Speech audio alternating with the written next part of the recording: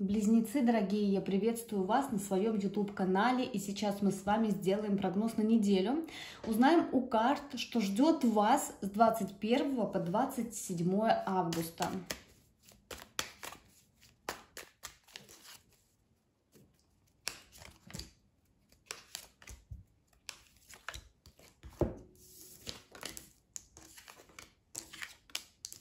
Близнецы, смотрите, у вас э, два старших аркана из трех карт а, и придворная карта одна. Очень интересный расклад на самом деле.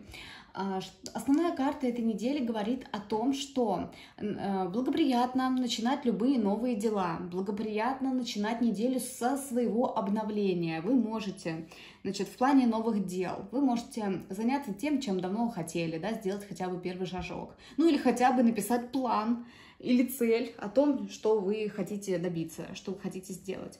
В плане обновления себя очень благоприятно менять свою внешность, свой стиль, сделать новую прическу, там, покрасить, покрасить волосы, да, как-то переодеться, ну, именно прям поменять стиль. Но также это говорит и о внутренних изменениях, то есть очень классно, круто вводить новые привычки, как раз вот с понедельника, да, самое время.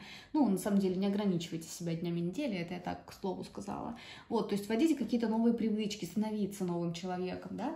Либо вообще, в принципе, не обязательно как-то внешне подтверждать, что ваша жизнь стала новой. Вы, может быть, вы просто внутренне ощущаете себя по-другому, и это тоже окей.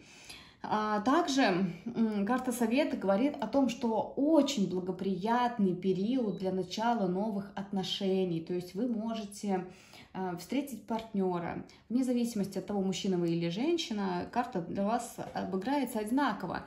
То есть для мужчины эта карта означает, что вы можете стать а, ну, любовником, ну, любовником не в плане там любовных треугольников, а в том плане, ну, в отношениях, при, э, стать тем мужчиной, Э, для, ну, для какой-то женщины. А для женщины эта карта говорит о том, что вы можете вот этого мужчину встретить. То есть обыгрывается одинаково для обоих полов.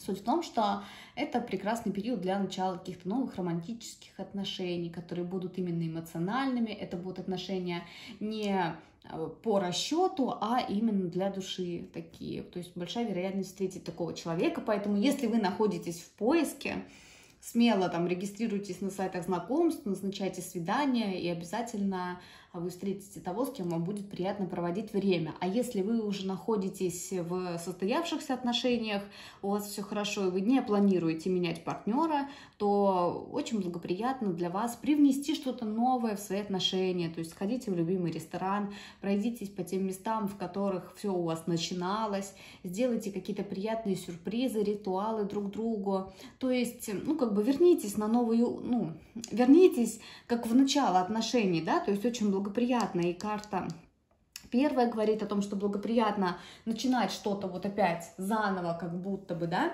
то есть это в отношениях тоже очень-очень благоприятно. И если вы выполните эти рекомендации, эта неделя для вас пройдет очень хорошо, и вы сможете очень сильно продвинуться прогрессивно, да, в том, во что вы будете вкладываться. Если все-таки вы выберете путь внутренних личностных изменений, то буквально за неделю вы уже заметите, что вы стали другим человеком. Если вы выберете путь ну, в карьере, в работе, в каком-то, в такой самореализации, что-то новое, да, то вы также за первую неделю увидите большой прогресс и перемены, и вы, ну, поймете, что не зря старались, и плоды будут достаточно быстрыми.